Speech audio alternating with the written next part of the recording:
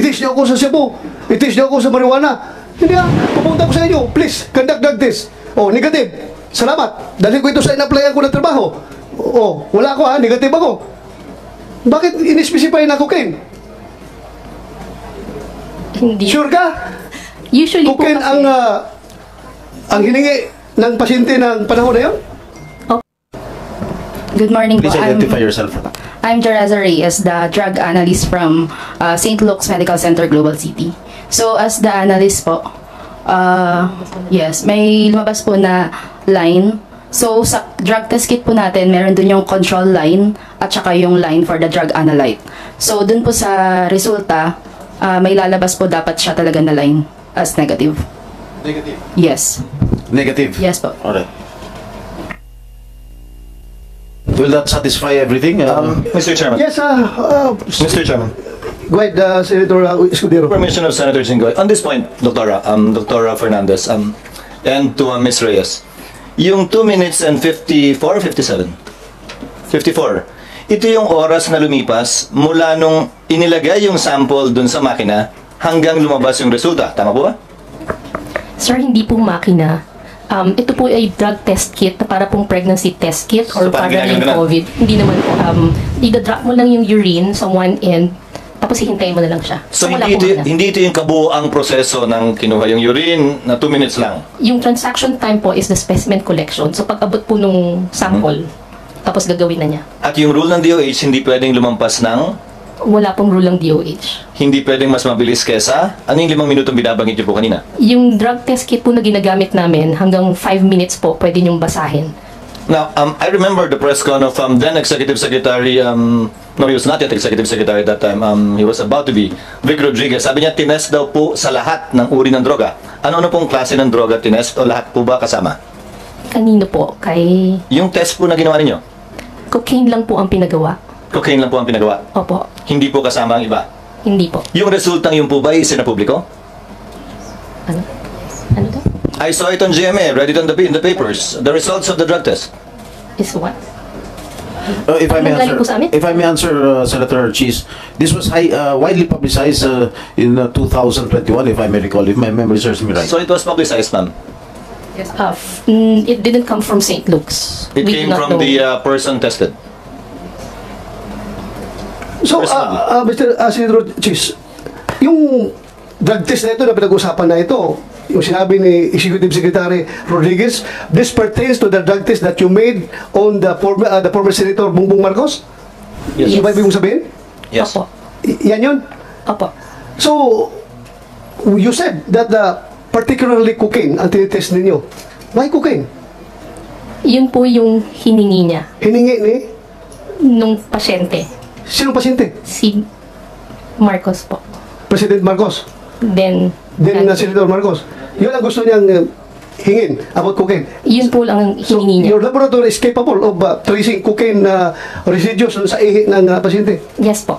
So, iba yung ginagamit nyo sa cocaine, iba yung ginagamit nyo sa Cebu. Iba rin Opo. gagamitin ninyo sa marijuana. Am I correct? Opo. Pero kung ako walk-in lang ako, pupunta ako doon sa iyo, I want a drug test. Anong gagamitin ninyo? Kung ano pong hihingin nyo. Oo, may ganun ba na? Eto ha, what if nagko-cocaine ako? Tapos, nagpa-drug test ako. Kasi nga, required siya ng company. No? If that laboratory ha, conducted for shabu and marijuana only, how will they detect? No, sa ako, if I am a cocaine user, kung ganyan lang, di ba? Kasi as far as I know ha, pag nagpa-drug test kami, they don't even ask kung anong klaseng test ang gagawin nila. Eto ha, ito kasing sabi ng taga St. Luke's, no? Yung ginagamit nila is ano lang siya, drug test kit. Parang sa pregnancy test ba? Like that. So, kasi, using a drug test kit, no, specifically ha, designed for detecting shabu and marijuana, might not reveal cocaine usage. This test, kasi, typically target specific drug. So, if cocaine isn't included ha, kundi siya kasali in the screening, it's unlikely to be detected.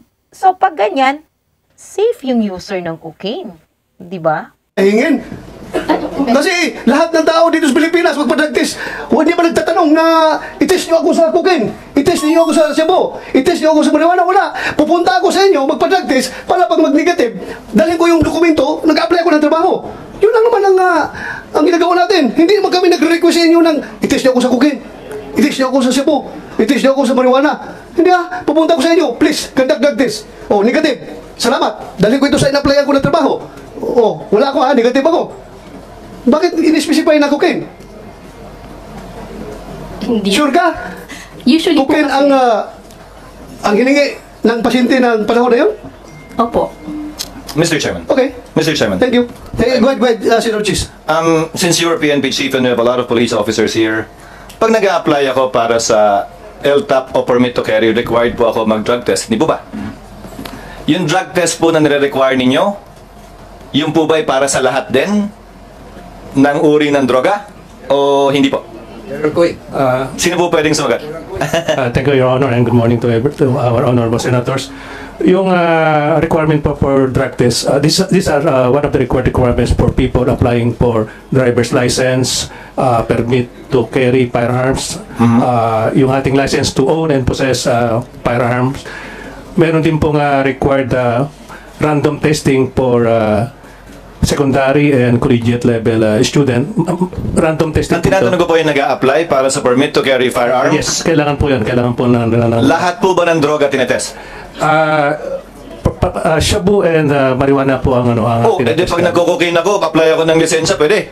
uh, maring makalusot po kasi po eh, yun po yung ano eh, yun po yung Not to emphasize to the chairman's point, ah. See that, see that. Um, so, for license to carry firearm outside of residence, ang tinetest lang po ng PNP ay shabu at marijuana?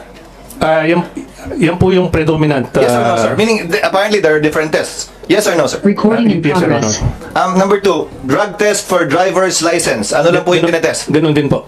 Ah, Um, Your Honor, shabu lang. shabu and ah, marijuana, for marijuana. And marijuana. So, yan po yung nire-require ng gobyerno? Sa Ah. mga pagkakataong nire-require ng drug test? Yan, kasi po yan, iba-iba pong reagent na ginagamit dyan eh. At itong uh, shabu being, and sh- marijuana being the predominant ah, drugs na ginagamit natin, yan po yung marami na tayong reagents. Sir, saan po nakasulat yan? Na shabu and marijuana lang ang tetest natin?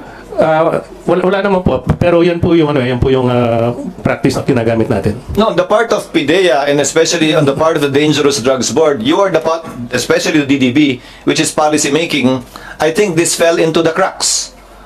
Sino nagde-determine yung bumibili ng testing kits? Where is the policy coming from? Bakit sino nag-decide at nagsabing marijuana lamang at shabu?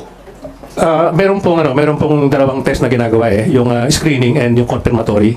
Pag nag-positive po yung sa first screening, ito po yung isang subject for confirmatory at Sir, di- dito po malalaman. Sir, I agree, sir. But my question is, where is it written na pag drug test required by government, whether for driver's license or for permit to carry firearm outside of residence, you only test for these two prohibited drugs? Saan po nakasulat yon? Sino nagbaba ng polisiyang yon? Sino nagdesisyon po nun?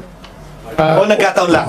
Nakasanayan lang? Wala pong ganung policy. Naka, ganun lang, yun lang po yung ah, ah, ginagawa. Sa, siguro po dahil sa ex- additional expenses kung gagamit pa ng ah, reagent.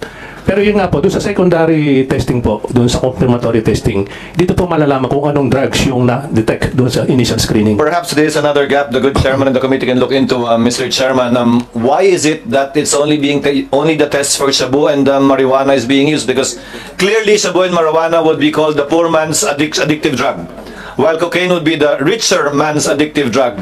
So kahit, kahit pala sa testing, pinapaboran yung mayaman kumpara sa mahirap, di ba dapat kung nagte-test tayo? Gaya ng sinabi ni Senator Bato, lahat na.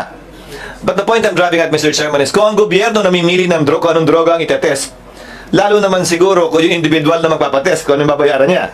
And I remember that time, I think this test was done in November, and issues were being raised with then candidate pres with then candidate Bongbong Marcos that um, these issues were raised to against him, that allegedly he was um, a cocaine uh, user.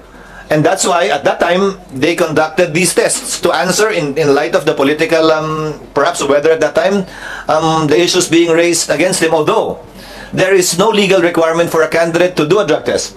That was attempted at some point in time in our history to require a drug test. But the Supreme Court, unfortunately, struck it down as an additional requirement for elective office, which is not allowed under um, the Constitution, unfortunately. Sana nga ni-require yun, pero hindi. Sabi ng Korte Suprema, hindi pwede. Applying a, a, a- higher standard, a less stricter standard in so far as running for public office is concerned. So I guess that answers the query of the chairman, and that reveals a loophole too, in so far as the drug testing rules of the um, Philippine National Police, the PDEA, and the DDB is concerned. Thank you, Mr. Chairman. Thank you, Senator Chis. Um, so I presume, I presume that uh, as a result of this uh, inquiry in aid of legislation, this committee will uh, propose a legislation, propose a measure requiring all candidates to undergo drug test uh, before they will be uh, that, yeah yeah I, I know I know I know I know it's, it's bawal according to our constitution so pag mag-propose tayo automatically hindi yan makakalusot because that's unconstitutional. Just to set the record straight because people are listening to us right now. Sabi ni Bato, kailangan daw ng legis ang committee niya is in aid of legislation. So we're waiting for legislation na pwede niya makam up after this hearing. So kung mag-propose tayo ng ganong uh, legislation requiring candidates to undergo drug test, sigurado uh, according to Senator Chis Escudero, that's unconstitutional. So hindi talaga makalusot yan dito. So please, you are listening right now, yan po ang explanation. But nothing prevents the chair and the committee from instructing the DDB from coming up with relevant policy as it is its job under the law. Yes. So far as the type of tests to be conducted um, whenever drug testing is required, as the case may be for the issuance of a driver's license or for the issuance of a permit, to carry a firearm outside of residence or any other circumstance the executive branch may necessitate. Thank you, uh, But yung random drug test, nag-random drug test tayo sa Senado. I'm also curious, Recording in progress. tinetest sa random drug test? Baka naman pili lang din. So again, I urge the DDB, come up with policy guidelines with respect to these things. Required and random drug test.